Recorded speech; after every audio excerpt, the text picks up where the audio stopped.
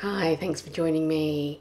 Today we're going to look at the different brushes that I have used over the last eight years since I've kept my sketchbooks.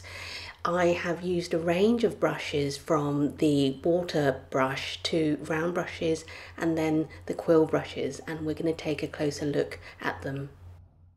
When I began painting in watercolour I realised there were a huge number of choices out there. There are thousands of brushes to choose from, and understanding them all takes a level of research that can feel intimidating even before you make your first stroke. Even for me, when I began my watercolour journey, selecting a brush felt really overwhelming. And I almost gave up after my first sketch as I just didn't know how to control the bristles of my round brush. So, a much more experienced artist suggested that I might like to start with water brushes like these. They're a type of paintbrush that comes with its own refillable water barrel, and the two bits screw together with a clip on cap that stops the water from leaking out when you're not using it.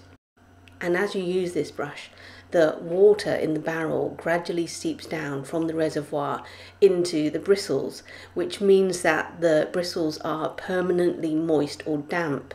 There are different brands of water brushes to look out for, and they pretty much work the same. I use a mixture of the Pentel, and the other one featured here is the Sakura water brush. The size and shape of the water reservoir will differ between brands as well as the size of the brush bristles. And the water brush is pretty much how I started in the early days of my sketchbook practice. This particular water brush was probably the equivalent of a number four round brush and as you can see it doesn't actually hold very much water if you don't squeeze the barrel and let the water come out. So then I moved up to the equivalent of maybe a number six round brush. As I gained confidence, I was able to manipulate this brush better and cover larger areas. I'm going to show you a sketchbook that I would have used the brush pens in. This is sketchbook number nine, which I started in September 2016.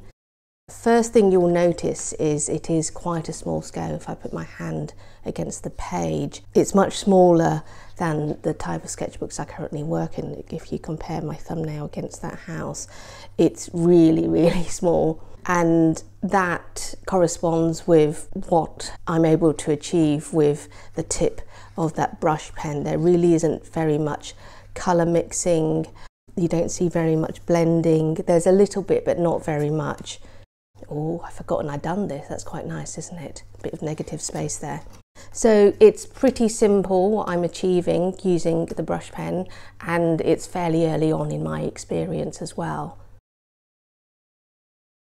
Round brushes are the most versatile and probably the most commonly used brushes in watercolour painting.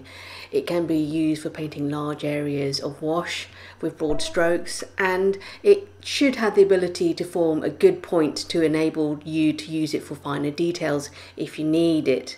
Round brushes range in size from 0 to about 20. These brushes here on the right are Daler-Rowney, that is a round brush size 16 and the two on the far left are Winsor and Newton and they are Sable size 6 and 4.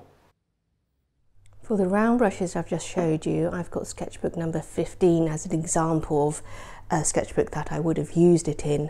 It's November 2017 when I started this. And you can see it's a bigger scale now. Now we've gone up in size if you compare that. And with the round brushes, I'm just able to achieve a little bit more in terms of blending. You can see that I'm starting to gain a bit more confidence with textures like that. And uh, I'm a lot more playful. Oh, this is one of my favourite pieces. Um, it's not really about the uh, the round brush. I really like incorporating the the white gel pen here. If I show you some better examples where we have a lot of pigments mixing where I was starting to play around with the watercolours on the page you'll see that um, I'm achieving some really nice effects here. This is one of my favourite sketchbook pieces. You can see where I have added ink to aid with details and definition of edges. By this stage I was probably using a number 8 or 10 round brush and it was much bigger so the belly of the brush, that is the widest part of the bristles, is what determines how much water and how much pigment it can carry and a brush with a bigger belly will carry more water and pigment than that of a smaller one. Also using a larger brush meant I needed less strokes so there is now the capacity for the pigments that I do apply on the paper to merge together. In my quest to find bigger brushes and better movement, better expressiveness, I stumbled upon this Chinese brush which I'd had in my collection for quite a while and I thought, let's give it a go. This is Sketchbook 21 which I started in April 2020 and the early pieces of this sketchbook I was still using a round brush but I did find that I wanted to create these beautiful effects and it helped if I changed my brush up from a size 8 round. Then I changed it to a 10 and then a 12 and then a 14 and I just thinking I, I, I need bigger and bigger brushes to sort of achieve some of these effects. And uh, eventually I think um, around about here I started using what I called a Chinese brush. And when I researched some more, I realized that there's something called quill brushes, and I think it's actually this one where I finally bought myself a quill brush. And you can see the amount of pigments that are now mixing on the page and I really loved seeing this so ever since then I've been using a, a quill brush in all my sketchbook pieces and I think it's made all the difference in terms of simplifying and also going with the flow, letting things happen at their own pace. Now let's have a closer look at quill and mop brushes. When I first started using them, I didn't know there was a slight difference. They do look quite similar, a mop brush is designed to hold plenty of water for the purpose of painting over large areas easily. Quill brushes differs from other brushes by how they're made. A quill brush may or may not be a mop brush and you can see that they are held together with uh, plastic and it's tightened with wire or string. However, quill brushes hold a sharper point compared to mops that is what I was after. And with these quill brushes by Jackson's, I found something that completely served my purposes. And it was like hitting the jackpot. It was like, bingo, I have found the brush that I want to be using for the effects that I want to create right now.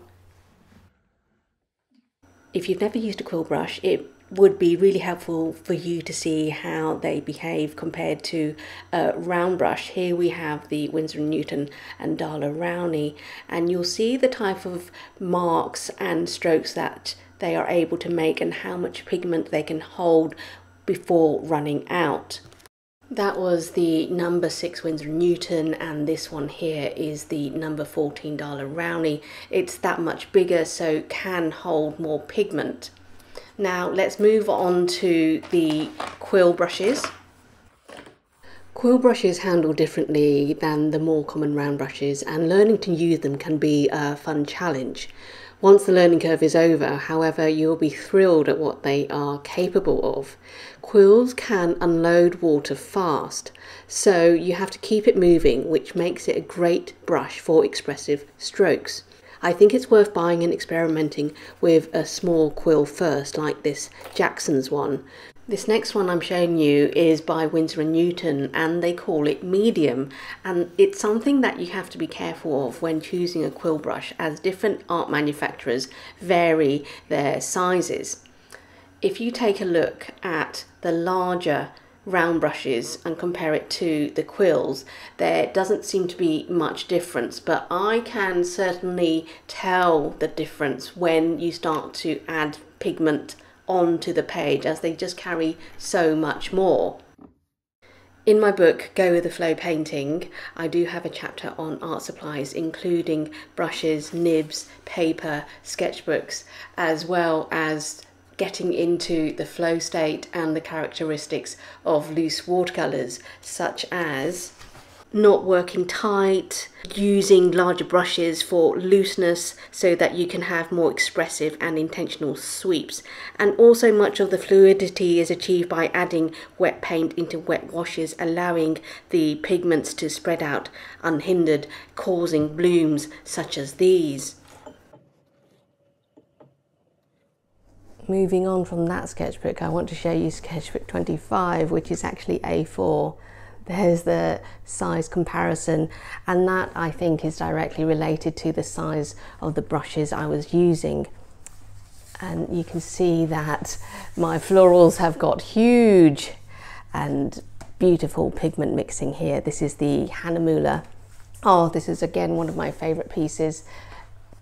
Beautiful pigments just fusing out like that. The purples and the greens I love it. And I actually created this during the chroma course in early 2022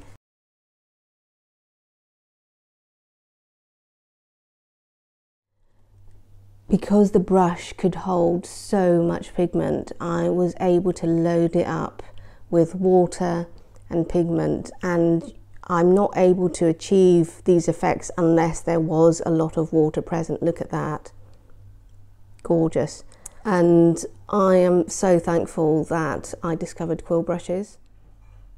I think these anemones are also particularly stunning. Look at gorgeous colours that I was able to achieve in there. And this would have just been the one stroke and I would have dropped in an extra bit of pigment in the middle and then finished it off with a brush pen. I'll probably do a class about combining the two. Let me know in the comments if you think that would be something you'd be interested in. I really hope you've enjoyed my video about the different brushes that I have used over my many years of watercolour practice. I would be so grateful if you would subscribe, like and comment. I really love hearing from all of you and sharing your insights and experiences.